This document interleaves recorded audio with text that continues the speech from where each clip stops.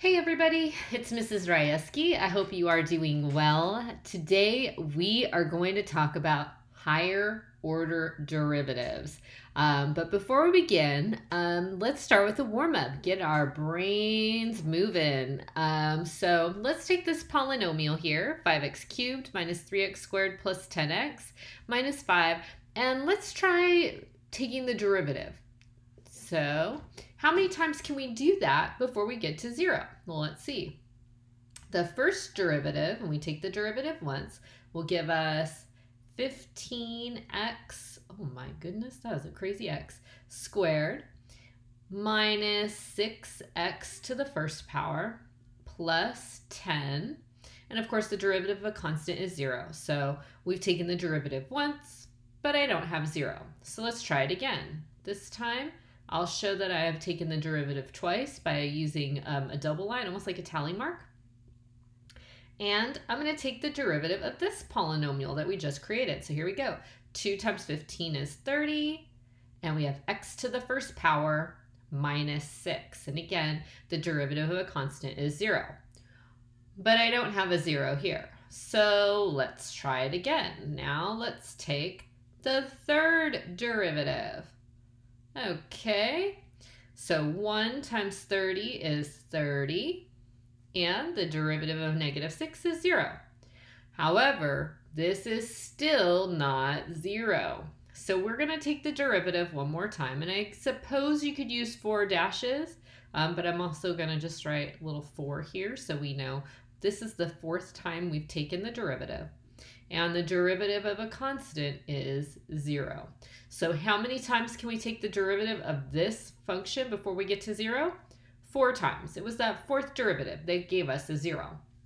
Notice that your degree of this polynomial is 3, and it would take us 4 turns before we would get down to 0 from taking the derivative. So what do you think that that means? Is there a pattern here?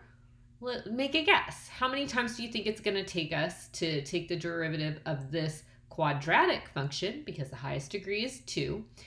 How many times do you think? Hmm, let's try it. So I'm taking the first derivative. That's going to give me 8x to the first power minus 2. I'll take the second derivative. Derivative of 8x is 8. Derivative of a constant is 0. And I've got the third derivative now, which is zero. So it took us um, three tries to get the derivative to be zero in a quadratic, and it took us four times to get to zero from a cubic. So can we make any guesses around that? Hopefully you can see that one more than the degree of the polynomial will lead you to taking um, to getting a derivative equal to zero. So all of those derivatives are what we call higher order derivatives. And um, so it's really not too difficult. You just take the derivative more than once. Most of the time we've been working with um, f prime of x, or the first derivative. The second derivative, we just put the two little dash marks, just like I was showing you. And we call this f double prime, or the second derivative. Um, Leibniz, he uh, used the notation for the second derivative um, d2y divided by dx2. Um, and sometimes this is known as the Lagrange method. So I'll write that down.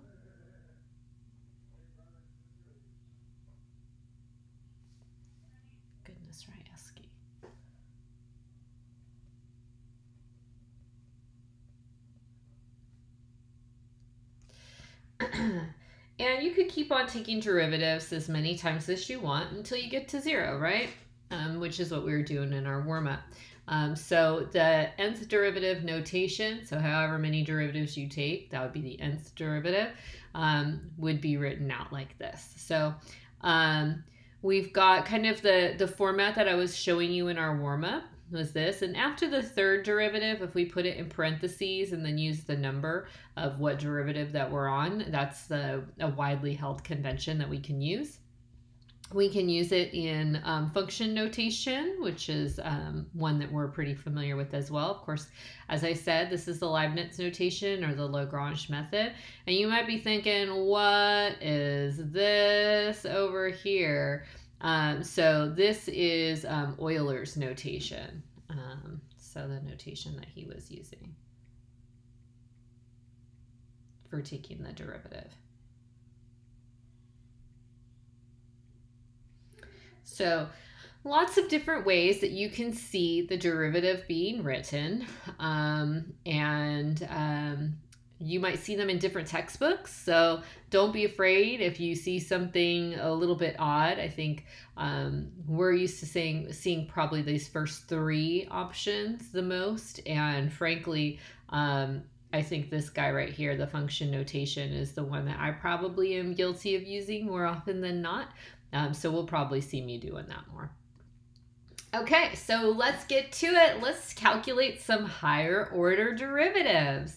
Um, so in this problem, um, they're asking us to find f double prime. So basically, it's just saying take the derivative twice.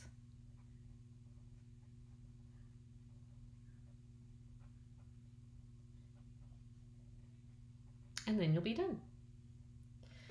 Okay, so let's take the first derivative first. So they've given us um, f of x is x cubed minus 3 um, divided by x. Um, so the derivative of x cubed is 3x squared. Now, negative 3 um, divided by x, this is the same as negative 3 times x to the negative 1 power, right? Because of our rules of exponents. So if I'm going to take the derivative of that, I'm going to multiply the front by negative 1. So that's going to give me positive 3. And then I'm going to subtract 1 from my exponent position. That's going to give me negative 2. Now I'm not going to put this back into the denominator because I need to take the derivative twice. And it's totally easier to work with your um, your variables with negative exponents than to treat them like fractions, I, in my opinion. So I'm going to just go forward and take the second derivative. Here we go. 2 times 3 is 6, and I'm going to subtract 1 from the exponent, so that'll be x to the first power. That's cool. And then I'm going to multiply by negative 2 in the front. That's going to give me negative 6, x to the negative 3 power, because I'm subtracting 1 from my exponent. Now, this is f double prime. It's our second derivative. If you prefer to write it in fraction notation, that's cool too. So we got 6x minus 6 divided by x cubed. When you move it down to the denominator, don't forget that you're going to make your exponent positive. Um, either one of these is perfectly acceptable. Um, and I would say if you're working on MathXL, then um, just make sure you read the directions of how to enter it into the computer, or if you're on Khan Academy or something like that, um, so that you um, are entering it in properly or the way that they're requesting. You ready for the next one? Here we go. All right, here we go. Example number two. This one says f of x is equal to the tangent of 2x. And um, we're supposed to show that f triple prime of pi is equal to 16. Okay, so it's telling us that we have to take the derivative how many times? Three times. And, um, ooh, it's trigonometry, so um, don't forget that you, you might want to get out your formula packet so you, if you don't have it memorized yet. Um, and then they don't want to just know what's the third derivative they want to show that when you substitute pi into the third derivative, that you're going to get out 16. Whoa. Okay, so let's check it out. Um, I've got to take the first derivative. So f prime of x is equal to, well, I know the derivative of tangent is secant squared. But this is a chain rule problem. So my argument is 2x. So uh, with the chain rule, I'm going to take the derivative of the outside. So the derivative of tangent is secant squared. And you keep the inside the same. And then you multiply by the derivative of what's inside. In this case, the derivative of what's inside is 2 because the derivative of 2x is 2. So my first derivative is 2 times, and I'm going to write this out a little bit nicer. I think, in my opinion, it's nicer. Like this. Um, I think it's easier to work with derivatives when we move our exponents to the outside of parentheses because I think that it helps you to see the chain rule a little bit better. Again, my opinion, um, but that's what I always do. Um, so this is our first derivative. Sweet. I don't need the first derivative. I need the third derivative. So let's get, in order to go from the first derivative to the third derivative, we got to find the second derivative. So here we go. f double prime of x. So again, this is a chain rule problem. I'm going to multiply 2 to the front, which gives me 4. And because it's a chain rule, I keep everything inside the same and I subtract 1 from the exponent. So, um, you know, 2 minus 1 is 1. You could put a 1 here, you could just leave it. But now we have to take the derivative of what's inside. And there's two more chains here because I have a secant, and then inside secant, I've got 2x. So I'll start by taking the derivative of secant. So the derivative of secant is secant tangent, okay? So we're going to multiply by the derivative of secant, which is secant tangent. And you're keeping your angle the same. So secant tangent, keeping the angle the same. Now that we've calculated the derivative of secant, we can calculate the derivative of what's inside that, which the derivative of 2x is 2. Whoa. All right, so this derivative is a little wild, but that's okay. So let's tidy it up. I've got 2 times 4, which is 8. And check it out. I've got a secant 2x times a secant of 2x. That is a secant of 2x squared. And then I also have that tangent that uh, of 2x that is also being multiplied. Now I didn't want the second derivative. I want the third derivative. So we've got to calculate the derivative again. Yes, that's right. So this is a crazy problem. So we've got f triple prime. And this time calculating the derivative is going to be a bit more complicated. And um, the reason why is because I see this as a product. So I'm going to need to use the product rule. okay, so here's my first function and here, or my first factor, and here's my second factor. So the product rule says 1d2. So I rewrite the first factor.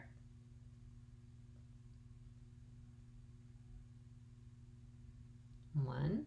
And then I take the derivative of the second factor. Now the derivative of tangent of 2x is, well, we actually calculated it up here, right? Was um, the secant of 2x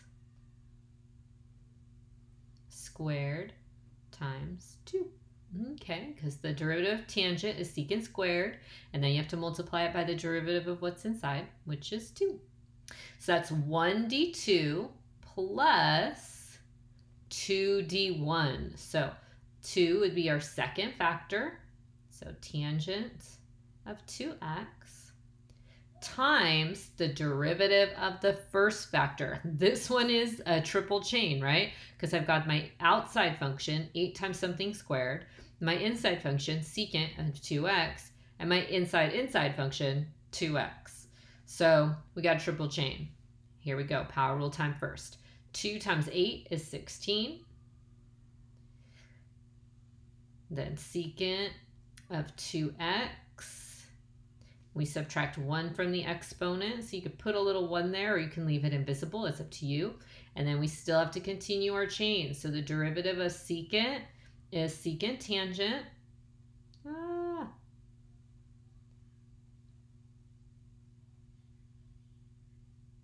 Oh my goodness, I ran out of room. And then we have to multiply by the derivative of what's inside, which is 2. Oh, good gravy. I spent way too much space over here in my f triple prime. All right, let's tidy this up. 8 times 2 is 16. And then I've got secant of 2x squared times secant of 2x squared. Well, that is the secant of 2x to the fourth. Mm-hmm. Plus, okay, over here. Um, I have 16 times 2, which is 32. Remember that 2 came from taking the derivative of what was inside. Then it looks like we've got, hmm, a secant 2x times a secant 2x. That is a secant of 2x squared. And then I've got a tangent of 2x times a tangent of 2x, which is a tangent of 2x squared. Wowzers. Okay, so um, now we've got our triple derivative. That's great, but we need to show that f triple prime of pi is equal to 16. So we need to substitute in a pi for all these x's. Okay, so f triple prime of pi. So that's going to be 16 times the secant of 2 pi to the fourth power plus 32 times the secant of um, 2 pi squared times the tangent of 2 pi squared. Now, maybe you're not like memorizing everything on your unit circle, but when I think about 2 pi, because now, because everything was multiplied by 2, the x's were multiplied by 2, I know that 2 pi is right here, okay? And this has an x value of 1 and a y value of 0. I know that secant of 2 pi is 1 divided by the cosine of 2 pi. Now, at 2 pi, cosine is my x value. That's equal to 1. So I've got 1 over 1, or just, whoa, 1. I don't know why it does that sometimes.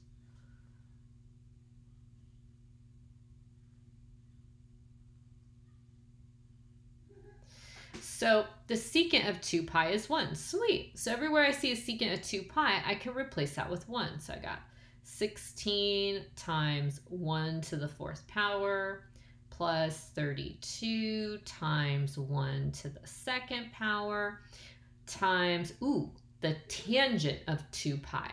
Well, I know that tangent is my sine divided by my cosine. Sine is my y value. Cosine is my x value.